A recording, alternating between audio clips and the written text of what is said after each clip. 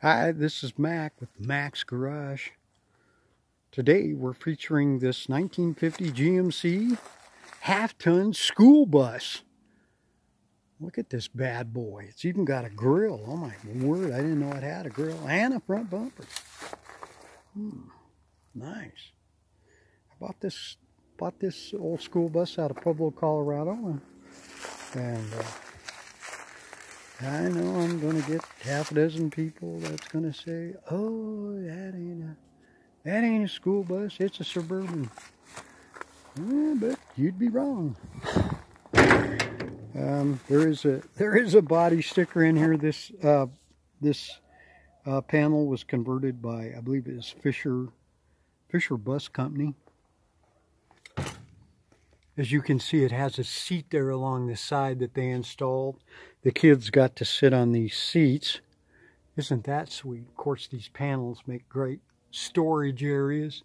Doesn't have a headliner. They didn't have anything like that. Uh, the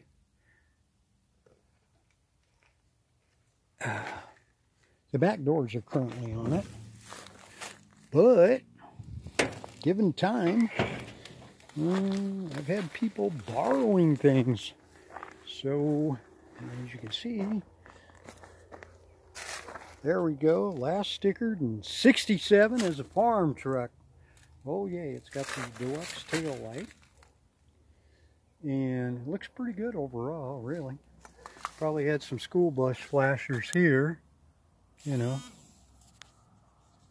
And Let's open it up and look in here. It does have latches. It does have... I was trying to... I was trying to remember where the... Because I have seen the uh, plaque in here that tells who made this bus. And you know what? Wow, I'm sorry, but I can't remember where it's at now that I said that. Uh, but it there is one in here somewhere. Well, not too much to show here. Looks like the glass on that side's gone, but the glass over here is broken. Well, yay. And it also looks like the bottom, the bottom bench seat is gone. Bottom of the bench seat uh, for the school bus is gone, but that could be easily fabricated.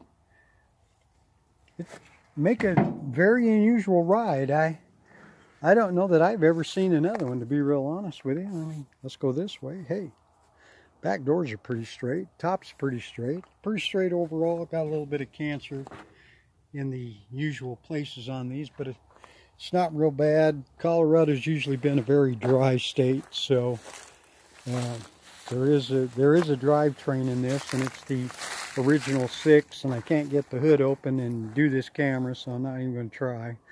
Uh, but I tell you what is listed on Antique Auto.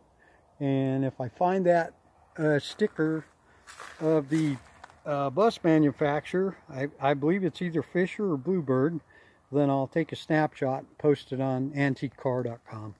Hey, this Mac with Mac's Garage, 50 school bus, over and out. See you down the road.